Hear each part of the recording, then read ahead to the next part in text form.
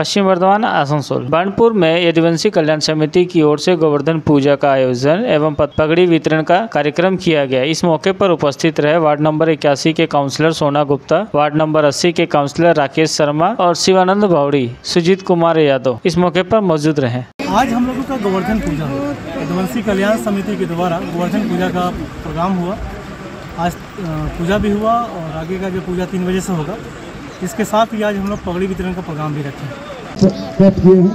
तो हमको अभी गोवर्धन पूजा का जो हम जानते हैं कि किसी जगह पर नहीं होता है तो हमको बहुत अच्छा लगा जो कृष्ण भगवान का और जो जो इतना रूप है, उसके गोवर्धन के रूप में जो पूजा जाता है, आप लोग करते हैं। इसके लिए आप लोग को बहुत बहुत बधाई और शुभकामनाएँ।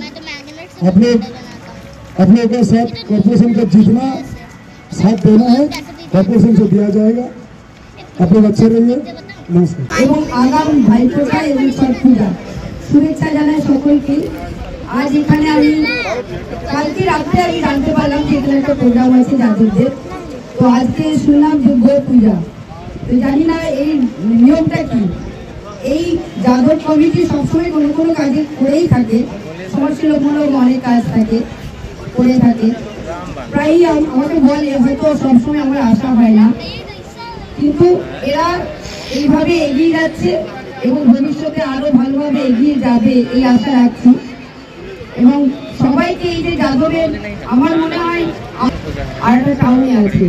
আচ্ছা যাই হোক, এখানে করেছে অফিসটা করেছে বলে সবসময় সবাইকে দেখতে পাই। আমরা সবার সাথে আমাদের আলাপ হয়। খুবই ভালো লাগে এবং আগামী দিন আরও ভালোভাবে এরা কাটুক। এই আশা রেখে সকলে ভালো থেকো, সুস্থ থেকো, এই বলে আমার বক্তব্য শেষ করেছি।